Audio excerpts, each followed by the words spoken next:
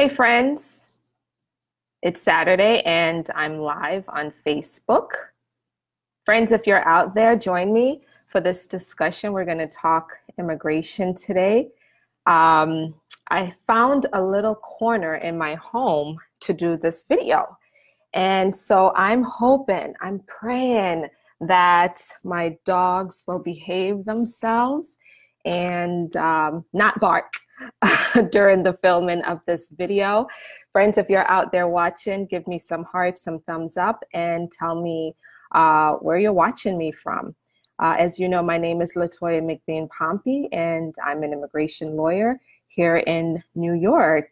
But we work with people all over the world, really. And um, in my day job, I help people through my, my law office, McBean Law.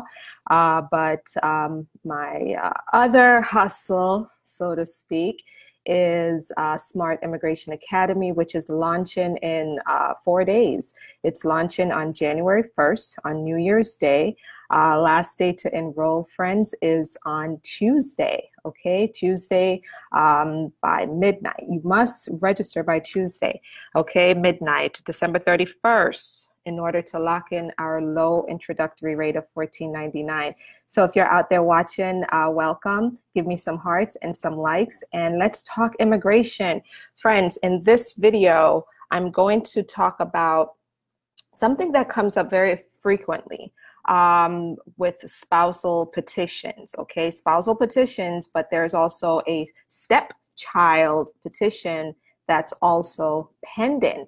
And so the issue is what if you, the spouse, you're denied for either adjustment of status or um, if you're at the embassy level and they denied your visa application. Why? Simply because they don't believe that you guys submitted enough evidence to prove that the marriage is bona fide and that there's a lot to that right? It's not just about oh you didn't submit all the paperwork. There's a lot more to it than that. So if you're denied, the question is, well, what happens to your child's petition, right? Because your spouse, who is the stepdad or the stepmom, may have also petitioned for your child, right? And so the question is, well, what happens to that child's petition if you are denied on the basis of you just didn't submit enough evidence to prove bona fide marriage? So that's what I'm going to talk about in this video. We're going to break this down and friends, I want you to share this video with uh, those in your feed, share it with other people because you never know who is going through what and they need this information, okay? So if you have friends and families overseas, globally, wherever you are, share this video right now and then give me some hearts and some thumbs up so that I know that you're there and that you want to talk immigration with me. And if you could hear me well, also give me, I need someone to give me a heart or a thumbs up so that I know that I should keep going and you could hear me okay. All right. So that's the first thing that we're going to talk about. What will happen to the child's petition if you are denied for adjustment of status or if your visa application is denied.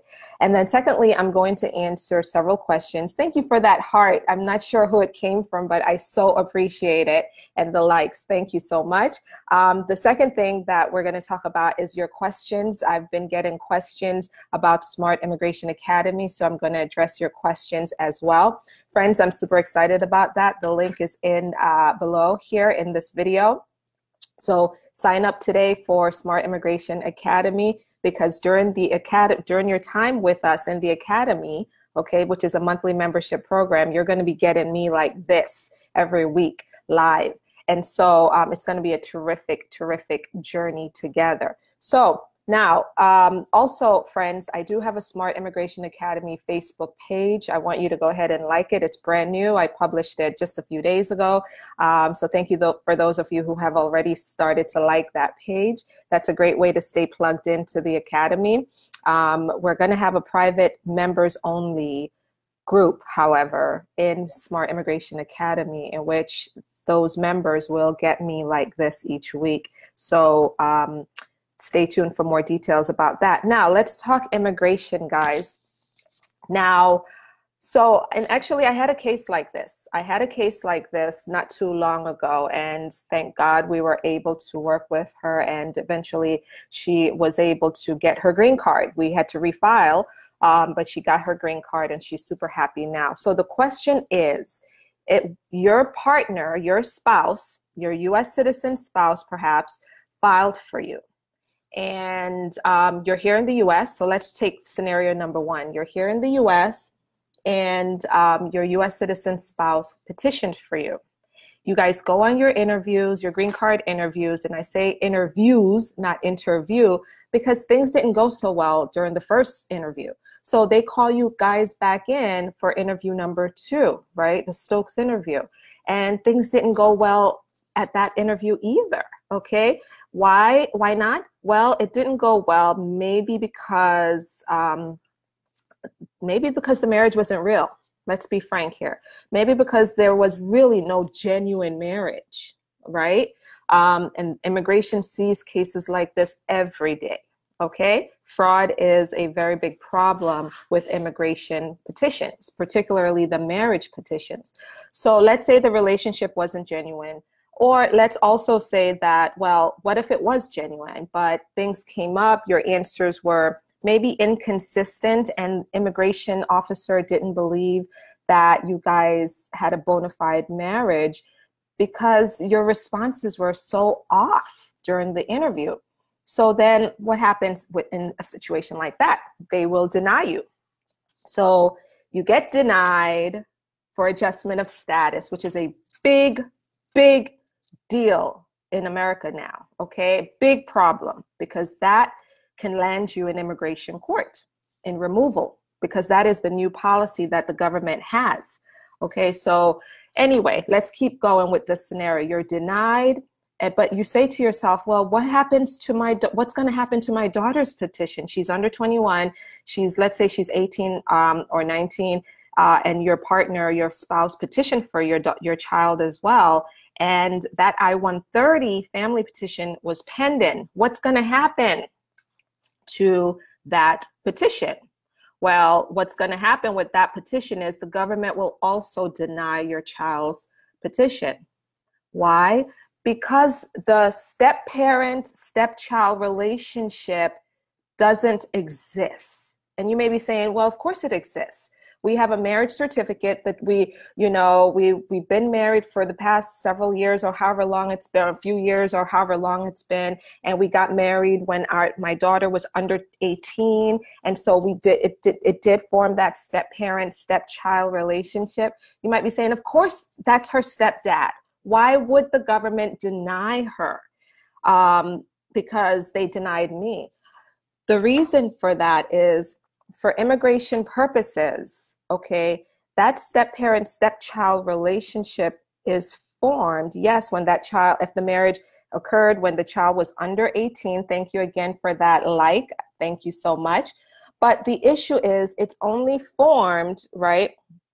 And I, I want to look right here. The relationship was created through that marriage. Yes, that step parent stepchild relationship was created through the marriage, but for immigration purposes, it was created through a bona fide marriage. Okay? So that whole bona fide issue is also linked to your child's petition, not just yours. So the government will deny that stepchild's petition because they didn't think that marriage is bona fide. And so therefore that relationship, that step parent, stepchild relationship, not formed, didn't happen. And so that's the situation that um, people face, right? They're denied, and then their stepchild's, uh, then their child's petition is also denied. So um, now, what next? What next? If you're out there, it's Saturday, I know, and everyone should be doing something fun or something, you know, cleaning the house or you're doing something on Saturday, but I, watch this video because it's really important. I'm going to talk about some more important stuff here. Let's talk immigration, right? And I'm going to answer questions about Smart Immigration Academy, which I do want you guys to enroll in even right now during the video. Enroll. The link is in this um, in the video in the description. Guys, enroll because I'm going to be talking about stuff like this during um, in Smart Immigration Academy. Okay, so let's keep going. Now, what the, will the parent need to do in this kind of situation or scenario? The parent will need to refile for adjustment of status if he or she is here in America and the marriage is still intact and it in fact is a good bona fide genuine marriage. They should simply refile. Okay, they need to refile, but um, be careful with the age of the child now, the stepchild. Got to be careful with that because um, you know that that that scenario may look a little differently if the child goes over 21. The child will have to wait longer, right? Because then that child is bumped down into a family petition, family preference category and no longer immediate relative. So be careful with respect to the age of the child. Watch that very carefully, right? Now, if the parent is overseas and the child is overseas and they were denied by the embassy, and what happens on the embassy level, friends, is the embassy will can say to USCIS, to, to you actually. The embassy can say we're to we deny this visa application because we don't believe the marriage uh, there's enough evidence to prove bona fide marriage. And furthermore we're to re- uh, recommend that that i-130 that was approved back at uscis in the united states we're going to recommend that that i-130 be revoked revoked and so they send your file back to uscis hi naomi um, truly appreciate all the information you share. Thanks for saying that. Appreciate that. Thank you for your comment. Um, friends, if you're out there, please comment. So the government, the, on the embassy level, they'll send that file back to USCIS and say to USCIS, we're recommending that you revoke that I-130. And USCIS will say, well, we're not going to act on that right away simply because you uh, embassies say that we need to revoke this because we we reviewed the file in the beginning in the uh, you know in the first place and we thought it was good. We thought it was you know we approved it. Okay so what you what uscis will then say is we're gonna they're gonna send you a letter saying listen the embassy has told us that we need to revoke the i-130 and before we act on that we want to give you 30 days to respond to this. Give us give we're giving you 30 days to submit your response to this and your response need to provide more evidence to show that bona fide marriage exists right and so you put together that nice little packet and you file that response um, and if uscis agrees with you and say, yeah, we knew we were right to begin with, and we agree with you. It is, we find bona fide relationship or bona fide marriage here. They're then going to kick it back to the embassy, and then you'll get another opportunity for an interview. So that's how it could happen in the positive, um, positive outcome. Okay. So, um, but if the marriage friends if the so you and the child will have another opportunity obviously. But if the marriage fell apart during all of this during well not during all of this but if the marriage fell apart and you don't want to refile for adjustment of status or you don't think that you have a very good chance at the embassy level again then you're going to need to find another pathway because then you know that's it. It's you know you you're you decide you're not you, you no longer have that petitioner right? If particularly if you guys get a divorce obviously petitioner is gone right? So to summarize what we just talked about right? If you're a spouse your your spouse petitioned for you for for a green card and you filed for adjustment of status because you're here in the united states and the government denies you um, denies you on the basis of lack of evidence regarding bona fide to prove bona fide marriage, then the stepchild's I-130 petition will likewise be denied because the relationship that formed the step-parent stepchild relationship is not bona fide. And so that's what would happen in a scenario like that. I hope that was helpful to you. uh, hi, Shauna K. Good to see you. Good afternoon. Okay, so um, friends, uh, if you have questions uh, regarding this topic that I just talked about, feel free to comment below and include your questions. I'd love to read them after this session. Now let's shift to Smart Immigration Academy, which I'm super excited about. People are registering, they're gearing up to be part of this introductory um, academy. Really, it's an, it, this is a, friends. It's only $14.99 a month. This is an introductory offer.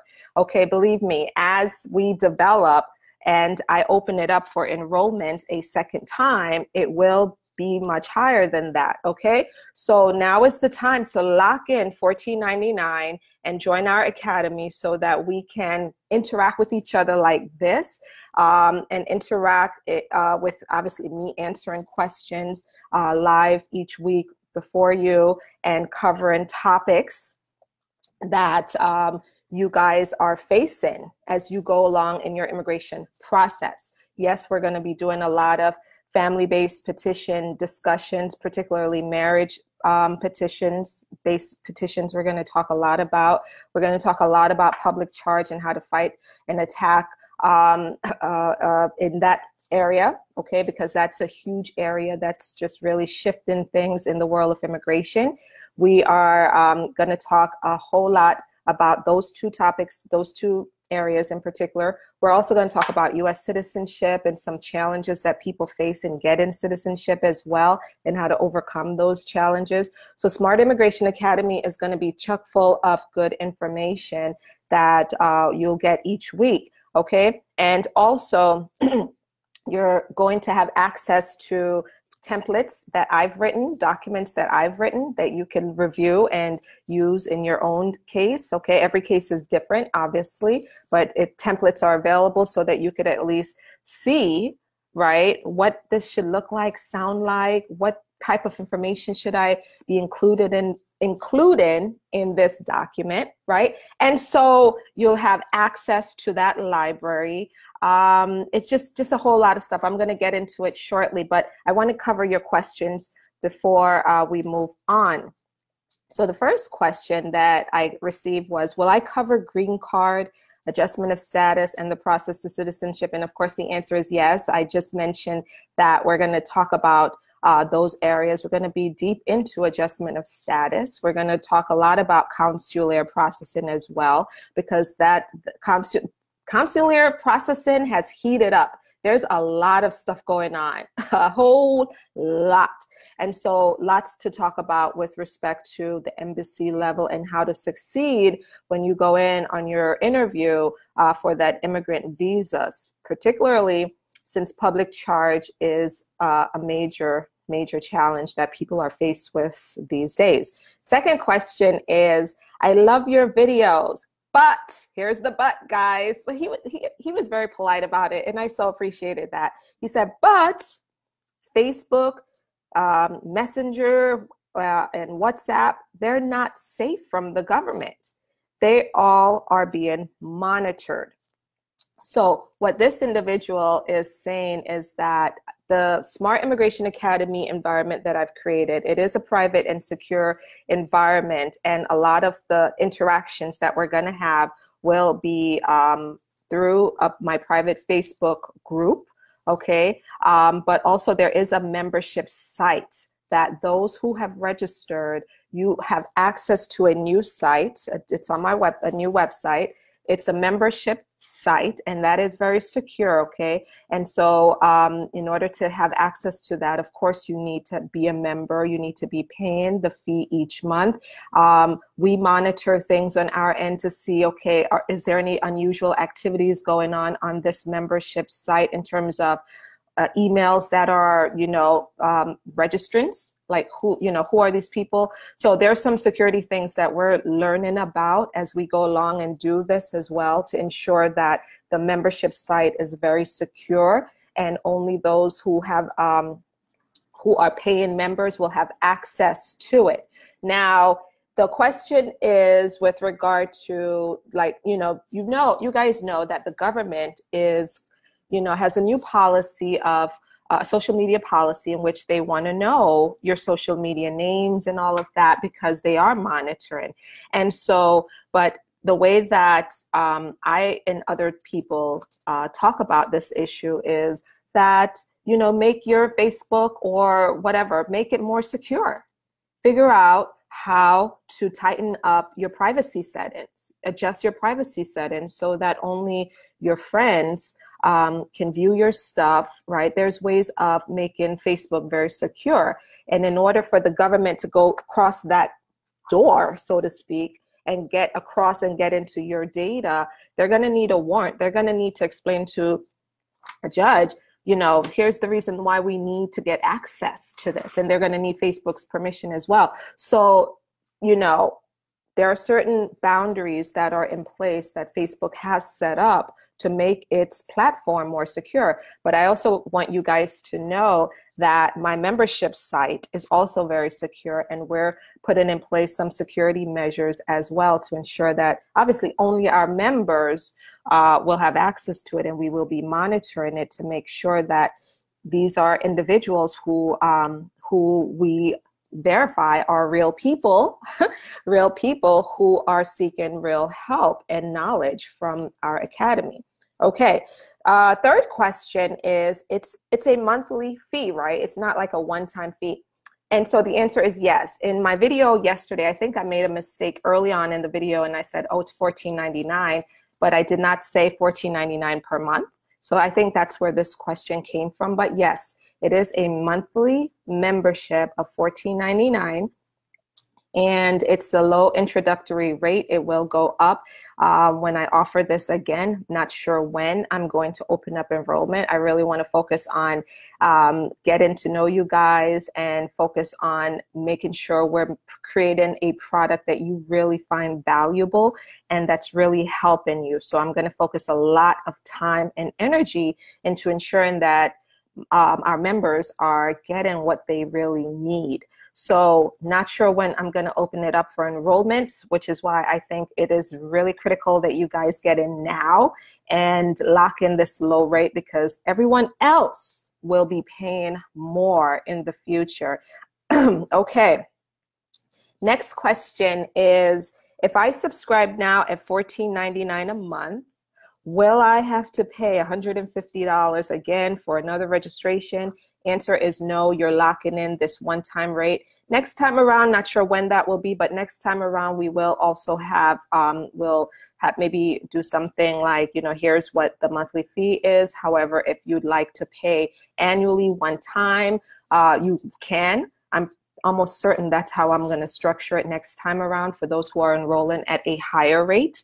Okay, but for now, for this first um, uh, group, it's just $14.99 flat a month, and there is no, there really is no catch to it. Okay, there really isn't. Yes, there will be if you'd like to purchase a course that is relevant to your process or whatever it is you're going through and you'd like to purchase that yes you're gonna that's that's a different fee you'll have to pay like other people. Um, however, as a member of Smart Immigration Academy, you're only you're going to be getting a discount on those future courses. So I think uh, this is a really good deal. Next question is I'm interested in joining the academy, but I don't have a bank account or credit card. What can I do? Now, friends, as you know, if you click on the link below, um, it will take you to the sign up page in which you will need to put in a credit card. So credit card is the primary way that we're accepting payments. Thank you for that thumbs up. I see it. I appreciate it.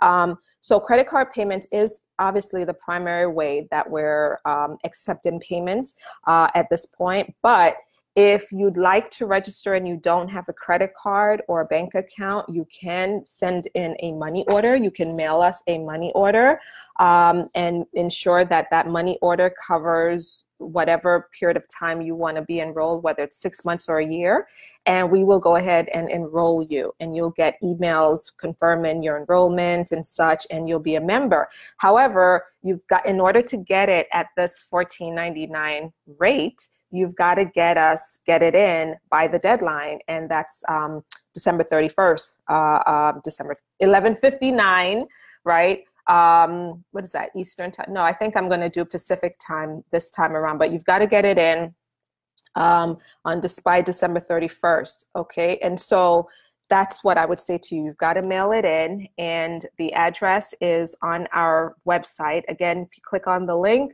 uh, you'll and scroll all the way down, you will see more information about how to contact us um, on that site. Okay, and if you have any problems, you could always email us at mcbeanu at gmail.com. Okay, uh, next question. Uh, well, actually, this other question is related. It says, I use Bitcoins. Um, so, same thing. If you use Bitcoins, you're going to also need to send us a money order uh, by the deadline in order to lock in this $14.99 a month rate. Okay. Um, Next question is how can I make an appointment to meet with you one-on-one? And so that's easy. That's uh, you can contact the law office, my law office, and speak with one of our one of my assistants and schedule your consultation with me, or you could go to mcbeanlaw.com and schedule book your consultation on your own. And uh, after you make your payment, my calendar will open up and you select the day and time, and then we make it happen. I do meet with people uh, via video. Um, also in a secure room, not through Facebook, uh, but through a secure video conferencing setup that we have. So I, I meet with people that way or in person or over the telephone. So our phone number is 718 301 9732. So that's how you can meet with me one on one. And just so you know, when you meet with me one on one, there's an attorney client privilege relationship that's created at that point. Okay, during our meeting, it's a limited relationship for the consultation, and I will be acting and re, uh, acting um, really on your behalf as your lawyer during that meeting. And that's a different type of setup from Smart Immigration Academy, which there's that's through another company that I have, and um, it's for it's an educational platform. No attorney-client privilege. Uh, relationship is created that way. So that's how you can meet with me one-on-one um, to talk about your immigration case. So with that being said, friends, uh, that's all that I'm going to share on this Saturday uh, afternoon. I will be coming back to you live tomorrow to talk about another issue, um, talk about another issue in immigration. There are so many issues to talk about. And also to answer any further questions that you guys may have about Smart Immigration Academy. And I see for Cheryl on this, you're joining? Yay! So um, I went to law school actually with for Cheryl, and I'm so delighted to see you in my feed and to see you on this um, in this form. And I cannot wait to have you in Smart Immigration Academy.